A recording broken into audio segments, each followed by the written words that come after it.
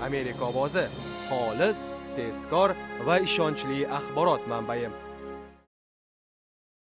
Nyu york shu qadar antiqa bir joyki uni amerika ichidagi alohida o'lka deyishadi. Turli elat va din vakillarini topasiz u yerda. Hammaning o'ziga yarasha urf odati va e'tiqodi bor.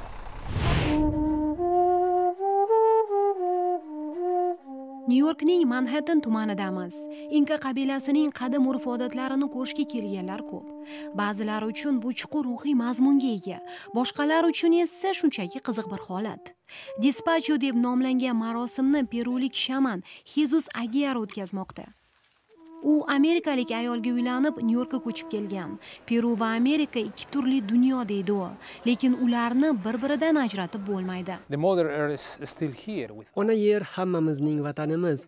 Dunyoning qaysi qismida bo'lmang qalbingizda muqaddas tushunchalar abadiy saqlanadi. Gul va daraxtlarda ham suvda ham saqlanadi. Hamma narsa muqaddas hatto beton uyali telefonlar ham hammasi ona yerda yaratilgan dispacho marosimi bundan bir necha ming yil oldin paydo bo'lgan ekan. Uning maqsadi insoniyat tabiat va ruhiy dunyo o'rtasidagi muvozanatni o'rnatish. Agiar ona yer uchun sovg'a tayyorlamoqda inkalarning qadimgi kecha tilida yer pachamama deb ataladi. Marosim ishtirokchilari ona yerdan ham tuhfa so'rashi mumkin. Dispacho marosimida makka jo'xori to'q qorinni pul boylikni paxta esa bulut va yomg'irni anglatadi. Ularni ona yerga taqdim etish zarur ekan.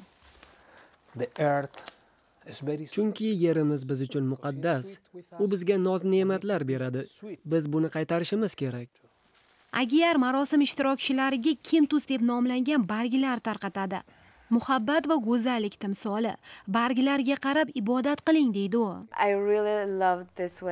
Bu telba dunyoda bir daqiqaga to'xtab hayot va uning ne'matlari uchun shukur qilish kerak.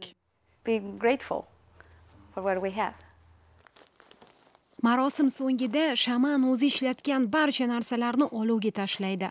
Alanga va uning tutuni ham ona yerga tuhfa deydi u